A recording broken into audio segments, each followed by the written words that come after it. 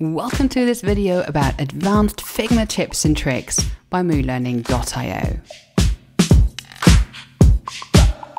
Moonlearning is an online learning platform for UX, UI and Figma. In this video are some takeouts of little hidden gems that we found throughout our videos. I am working on a Mac. If you're on a PC then just make sure to substitute the keys accordingly. Let's jump right in and start with one of my favorite Figma features. Left right honor the grid. I cannot live without this one and it's been around for quite a while, but still worth mentioning. When you set constraints while having a grid added to the frame, then the nested items will take the columns as their parent container. So here I have a frame without any grid added to it. And you can see that the direct child element, if I add constraints here, that they will align with the frame because that's its direct parent. Now, if I add a grid and make sure that this child element is placed within one of the columns, you can see that the constraints now use the grid as their parent element. So if you set your elements to left, right, they'll behave nicely when resizing the grid. Ignore auto layout.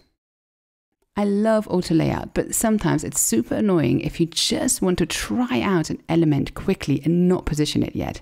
There's a little trick. Press the spacebar as you drag and it will add the layer above the auto layout and thereby you can just see if you like the positioning or not. Quick copy file links. Inside your file, press Command L and it will copy the file's link to your clipboard.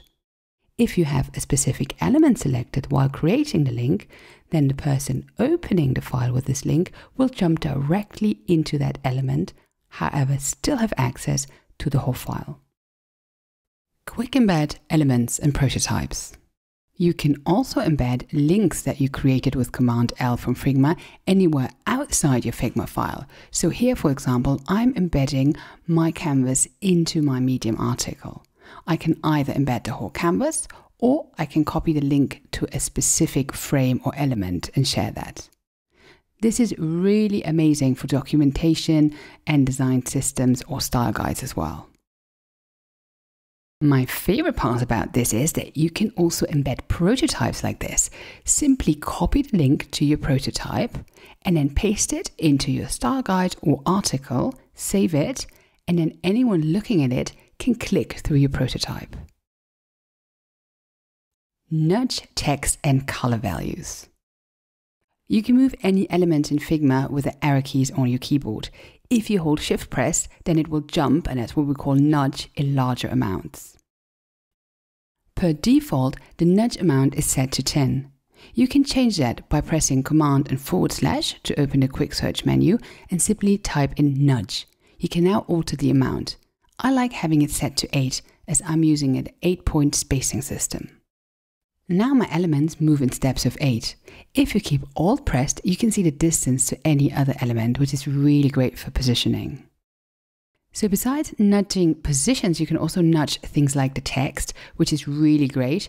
If you're working with an 8-point spacing system, then you can have this multiple of 8, or also change your line height. You might want to change it to 4 if you're working with a 4 baseline.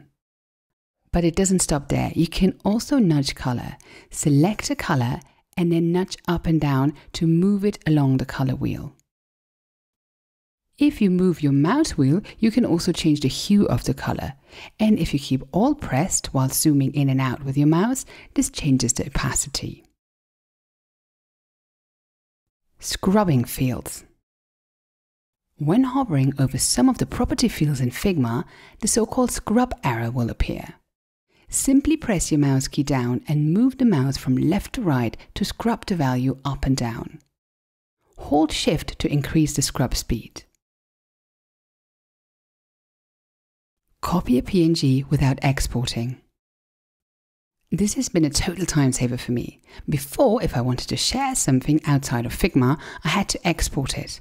Now I simply press Command Shift and C to copy the frame as a PNG to my clipboard. I can now paste it anywhere inside my file, for example, into mockups, or I can also make a copy and share that for presentations in Slack or via email. Only assets for development stay with my export panel as I need different resolutions. Component naming with pages and frames. You are probably familiar with the slash naming conventions for components, but did you know that adding a master component to a frame gets it organized the same way as using a slash? This is really amazing because you can simply set up frames in different categories and then add your components to it. This way, you not only detach organization from naming, but you can reorganize components in a second simply by dragging them from one frame to another and your component names stay nice and short. If you have a document that is, for example, a standalone library, you could go even further and use pages to add one more level of organization. You could set up different pages for different breakpoints and then store your components within them. Or I've seen people using pages for different libraries such as Android and iOS within one document. Be creative with it screenshot right into Figma. This will keep your desktop nice and tidy. Get ready to get your fingers twisted a bit though. Press Shift, Control, Command, and 4 and just make a screenshot. This will save the screenshot to your clipboard instead of your desktop, and you can now paste it right into Figma. If you do the same, Shift, Control, Command 4, and press the spacebar, then you can print the whole screen. With the tidy up feature inside Figma, you can now arrange everything nicely. If you have different sizes, you can also just use auto layout to arrange it. Little trick, just double click while holding Alt and you can also crop the images directly. Copy editable SVG from the browser. You can copy SVGs directly from the code of a page. Select an SVG and right click and select Inspect Mode. Now click on the image source to get the view only of that image. You can now select the SVG and make sure that you select the SVG and not the little code highlighted, and then right click again and choose Copy Element. You can now paste it into your Figma file, and it will remain scalable and editable, just like any other SVG.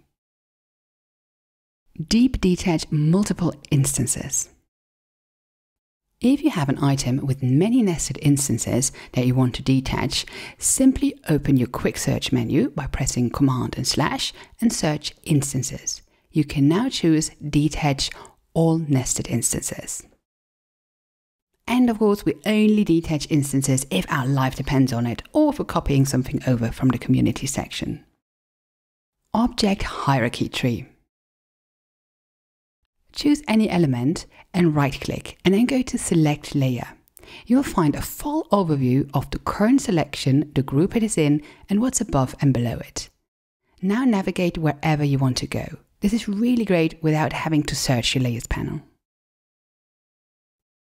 Add properties to unions.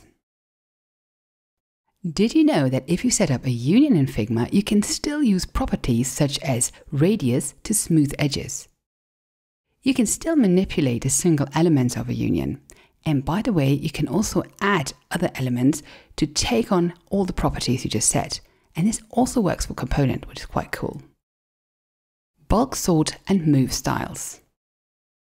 I spent a lot of time naming my styles with a slash naming convention. Especially with typography, this can drive you a little insane. And there's a great shortcut. Click on the grey area of your canvas to get an overview of your styles in the right hand menu. Now simply select the styles you want to be grouped together, press Command and G to group, and now you can name the folders. You can also move styles in between folders. Use description for styles. When naming your style, you find a little field below called description that's often ignored. Anything you put in here will show in the descriptive tooltip when someone picks the style. I love using this as it helps me to add more information about the style's purpose. Underscore for private styles. Want to set up a style but not quite ready to share it? To ensure it doesn't get uploaded by accident to your team library, just add an underscore to the name. In this way, once you're updating, it will not be added to the list. Did you know that images can be styles? You can save images as a style through the fill menu just as you would with color. You can now fill any shape including text with that fill. Using color names. You can type in color names into your text fields and it will be applied as a fill. Probably nothing for a final brushed up UI design, but really handy for some quick testing. Quick auto width text. This is a quick one indeed. If you want your width to be set to auto, then simply double click the text box. Done. Toggle design and prototype. This is also one of these obvious ones that I just didn't know about. With Shift and E, you can toggle between prototype and design mode, which is such a time saver. Set any frame as a thumbnail. Figma always uses your first page as a thumbnail. If you want to set another thumbnail, simply click any frame that you set up, right click and select Set as Thumbnail. Hide cursors of others. Don't want to see all your coworkers floating around a shared file? No problem. Simply press Alt, Command, and forward slash. You can also go to the menu via Menu, View, and multiple cursors to set this. Use percentage for line height. In Figma, line height is set in pixels, which drives me a little nuts. I like using generic ones, like in CSS, so I want something like 1.5. Unfortunately, that cannot be set up in Figma. However, you can use percentage. This also allows me to change the font size and always keep my unified line height. By the way, in inspect mode, this will still show as pixels. If you like this video, hit the subscribe button, there is more coming. Also make sure to visit moonlearning.io where you find all my courses on UX, UI and Figma.